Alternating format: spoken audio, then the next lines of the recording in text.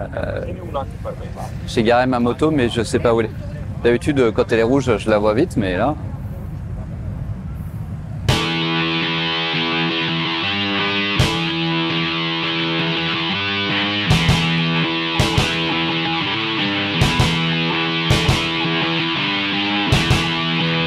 Bienvenue dans le monde merveilleux de Ducati.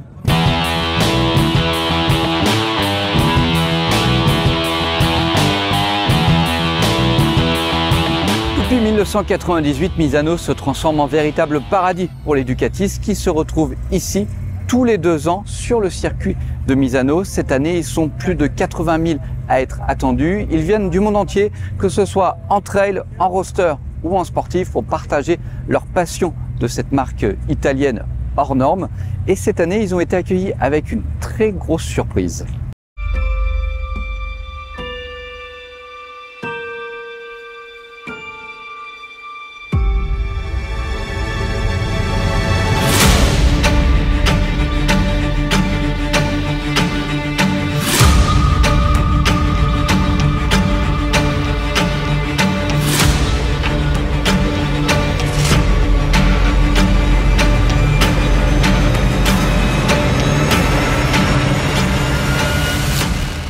On a donc la nouvelle Panigale. On peut donc voir que c'est une évolution en douceur pour la nouvelle Panigale V4.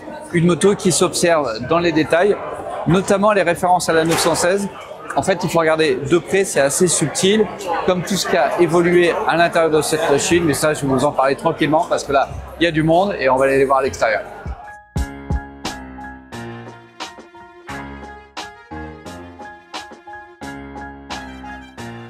On profite du romantisme de ce coucher de soleil euh, sur le circuit de Misano pour découvrir en détail la Ducati Panigale V4S nouvelle génération. C'est la septième génération de sportives de Ducati. Ça remonte aux années 80. Et ici, en fait, on a quelque chose qui est une évolution en douceur de cette moto. Alors, on le voit déjà au niveau du style. On a ce détail important, les ailerons qui sont désormais intégré au carénage, une nouvelle signature euh, lumineuse qui est là bien différente de la précédente. On a ici au niveau des roues aussi un carénage qui est un petit peu plus creusé, c'est censé améliorer la maniabilité, l'aéro, etc. À travers tout ce style, on a des références à la Ducati 916. Alors vous allez me dire, c'est très subtil, c'est dans les détails.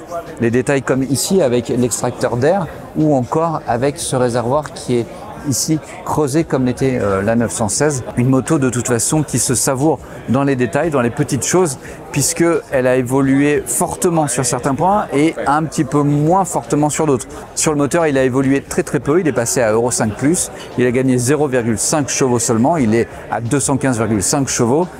Et en termes de poids, elle est à 187 kg tout plein fait, mais tout plein fait sans l'essence, je précise. Donc finalement, pas grand-chose qui évolue là-dessus. Pourtant, en dessous, il y a un gros travail qui a été fait sur notamment le cadre ici à l'avant et le bras oscillant. Je viens vers moi, je vous montre le bras oscillant. On sait que Ducati avait un monobras. Eh bien, grosse révolution sur ce point-là. Il y a un double bras qui est désormais présent. Ce double bras, son objectif, c'est d'améliorer la rigidité de la moto en virage et notamment avec un travail sur la torsion latérale. Ce que je vous propose, c'est de découvrir en fait comment cette moto a été euh, travaillée en douceur avec euh, l'un des membres de l'équipe qui a travaillé dessus.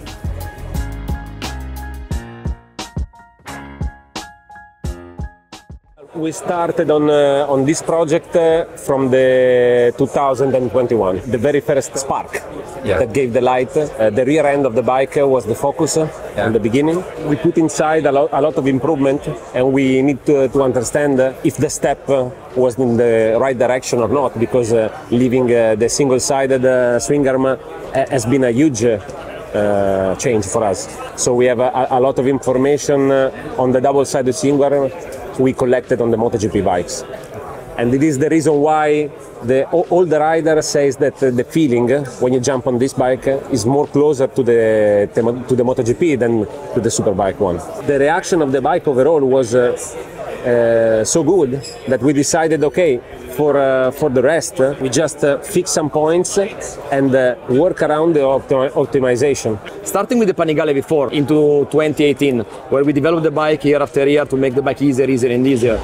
So we arrive at a point where to make the next step, we need to change a lot on the bike. So we asked Ducati Corsa what we should do, and they said you have to do this, this, and this, and you will achieve your uh, your goals. And that's why we did it. The requirement of the chassis were uh, asked by Ducati Corsa, so they asked for certain level of stiffness, and also the controls. The what we call the DVO, the Ducati Bike Observer, is uh, more or less the same system that we have in MotoGP since some years, that uh, raise up the level of our controls. So I would say it's uh, a 50% bike between Ducati and Ducati Corsa. So Ducati Corsa will ask for uh, a lot of improvement in the new bike because at the end we have to use this bike for a, for a super bike in the future. So it's important that uh, uh, the Ducati Motors will follow our suggestion, and uh, I'm really happy, happy about the results.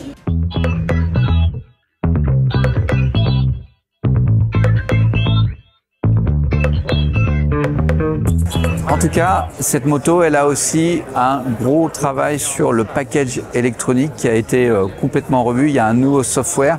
Il y a ce qui s'appelle des capteurs virtuels. Il y en a 70. Le software qui est censé euh, travailler pour apporter un meilleur ressenti de la route, de ce qui se passe et vous aider en fait à mieux faire intervenir toute cette électronique, que ce soit au niveau des suspensions, mais aussi l'autre nouveauté importante au niveau du freinage puisque ce qui était un ABS cornering, donc qui vous permettait de freiner plus tard, devient un CBS. Ce CBS cornering, qu'est-ce que c'est en fait? Eh bien, c'est une amélioration de cet ABS actif sur l'angle qui en plus va vous aider à avoir une meilleure trajectoire. Et comment Vous allez me dire, eh bien tout simplement en appuyant sur le frein arrière, en faisant intervenir le frein arrière à votre place, comme le ferait un vrai pilote qui cherche à resserrer sa trajectoire, à resserrer son virage. Et bien là, c'est l'électronique qui s'en charge. Alors il y a des niveaux d'intervention, mais ça peut permettre en fait à intervenir à votre place pour récupérer un beau virage et faire de vous un meilleur pilote, un pilote plus rapide, notamment sur ce circuit. Peut-être que vous battrez le record du circuit qui est aux alentours des 1,36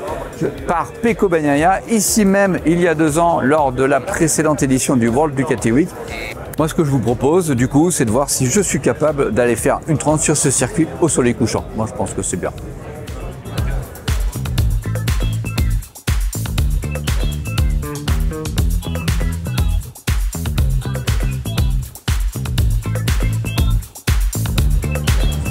C'est un peu la cohue, tout le monde est agglutiné pour venir voir les pilotes du team officiel Ducati. Oui, car tous les pilotes Ducati sont présents. Le champion du monde MotoGP, Pecco Bagnaia, son coéquipier Enea Bastianini, mais aussi Marc Marquez et les pilotes du Superbike. Bref, il y a du monde parce que tous ces pilotes vont s'affronter sur la piste tout à l'heure et ça c'est la grande attraction de cette World Ducati Week. En plus, ils vont s'affronter eh bien, avec la nouvelle Panigale et on a posé la question au grand patron, est-ce qu'il ne faut pas être un petit peu fou pour mettre une moto à peine dévoilée sur la piste dans une bagarre entre pilotes qui n'attendent qu'une chose, c'est de se mesurer et voir qui est le meilleur avec la même moto.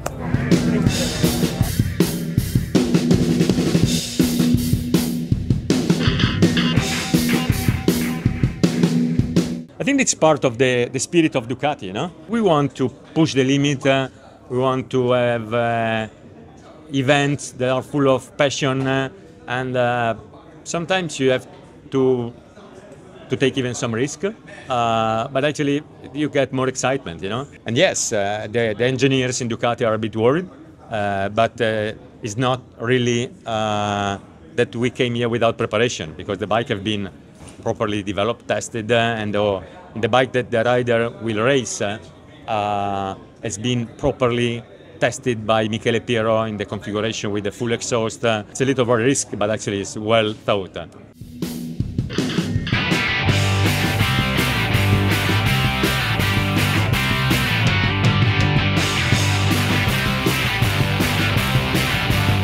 Ils attendent, mais nous, c'est pas grave. Moi, j'ai déjà eu ma petite photo avec Peko et Enea, alors on va y aller.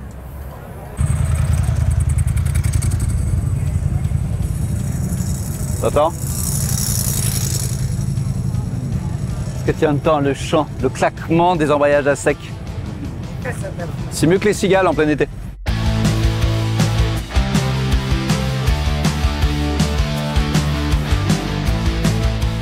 Viens, je vais te montrer un truc.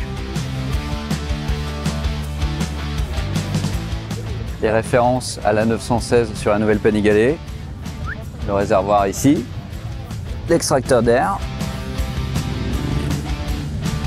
Pour les autres références, comme la signature lumineuse, c'est un petit peu plus subtil, il faut vraiment prêter attention. Mais ce qui a surtout fait Ducati en termes de design pour rappeler la 916, ce sont les proportions et la ligne en général de la moto.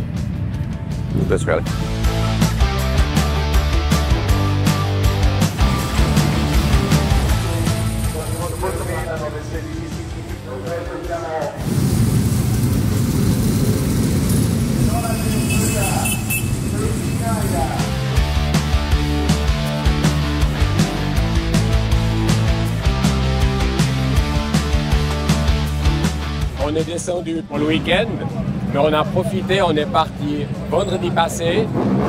On a fait l'école au Grison, les Dolomites, le Frioul, Bologne. On a visité les musées Ferrari et puis Lamborghini. Et puis après, un petit crochet par Florence et puis arrivé ici pour le week-end. On est descendu en moto, on a mis deux jours pour s'arrêter euh, au lac de Caume une nuit. Et, euh, et puis on est arrivé euh, hier soir.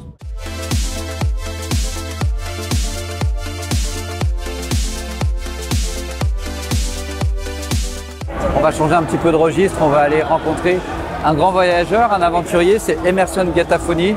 Il est très connu en Italie puisque son émission, ses grands voyages sont diffusés sur la Rai Uno.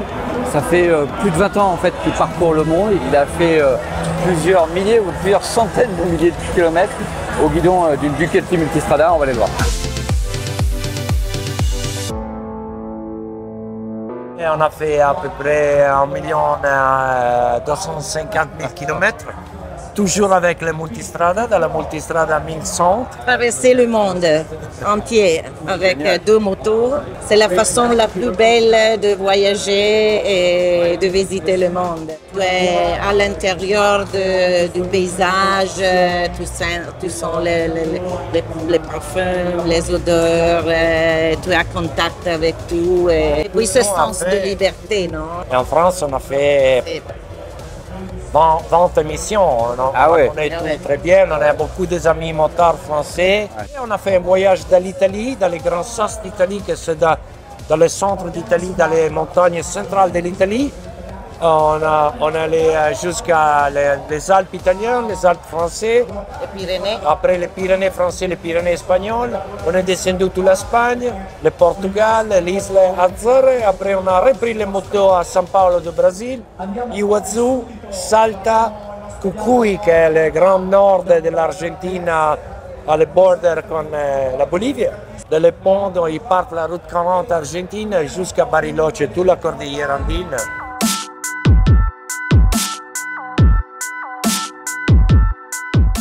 Commence à y avoir beaucoup de monde, beaucoup de bruit. En plus, il fait chaud. Mais ce que je vous propose, c'est de faire une pause dans une bulle très luxueuse pour aller voir des Ducati uniques.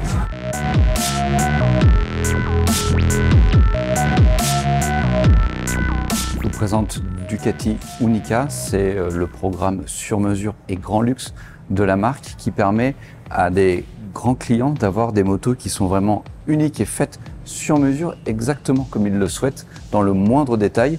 Là, on a trois clients qui viennent de recevoir lors de cette euh, World Ducati Week leur moto.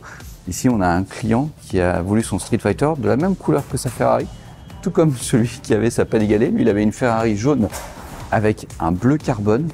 Et donc, vous voyez ici le bleu carbone, on le retrouve. Et dans le fond, c'est un client qui avait une Lamborghini dans ce coloris qui a voulu que son Street Fighter soit exactement comme ça. Ça représente plusieurs mois de travail, parfois un an. Il y a une équipe, toute petite équipe qui travaille dessus et qui sort 12 motos d'exception euh, chaque année. Et en fait, ce sont des motos qui se savourent vraiment, vraiment dans les détails. Vous regardez ici, on a le dégradé carbone au niveau de la couleur. Parfois, certains clients font confiance et puis d'autres décident de vraiment aller d'accompagner le programme jusqu'au bout pour avoir la moto sur mesure. Là, on est plus dans l'objet de collection que vraiment la moto qui va aller euh, rouler sur Misano. On est sur un marché qui est un marché de plus de 500 cm3. Sur ce marché-là, ce qu'on veut, c'est vraiment avoir un positionnement upper premium. C'est-à-dire que si on fait une petite comparaison, on appartient au groupe Volkswagen depuis 2012. On est Audi, on voudrait tendre vers Porsche. Vous voyez ce positionnement premium vers le upper premium et ça le fait exactement avec le, plan produit qu'on est en train de lancer. Toutes les séries limitées qui sont aujourd'hui en train de voir le jour. Je pourrais citer par exemple la Devil Bentley, je pourrais citer euh, dernièrement la Street Fighter Lamborghini qui sont des, partenariats avec bah, les marques de notre, groupe. Et tout dernièrement, bah, cette Panigale 7G euh, qui là justement, elle, est le fleuron de la marque.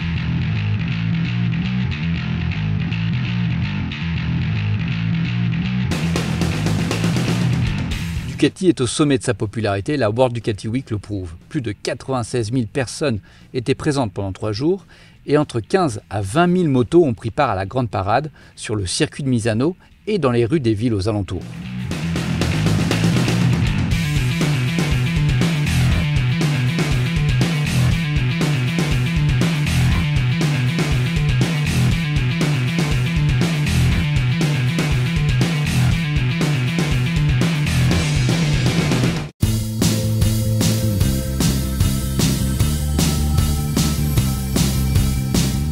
Comme vous pouvez le voir, c'est toute une région qui est aux couleurs de Ducati et qui vibre pour la passion de cette marque. Une marque qui reste très populaire et proche de ses aficionados, mais qui n'hésite pas à aller conquérir un nouveau public plus premium, amateur de produits de luxe. Encore une preuve s'il en fallait, ce sont les motos, les toutes nouvelles Panigale qui ont été utilisées pendant la course des champions et qui ont déjà été toutes vendues quasiment. Il y a même un chanceux, un Français qui a acheté celle du champion du monde de MotoGP, Pecco Bagnaia, et qui l'a acheté pour une somme d'environ 100 000 euros. Voilà, moi je vous donne rendez-vous dans deux ans, je l'espère, pour des festivités qui s'annoncent grandioses, puisque ce sera le centenaire de la marque Ducati.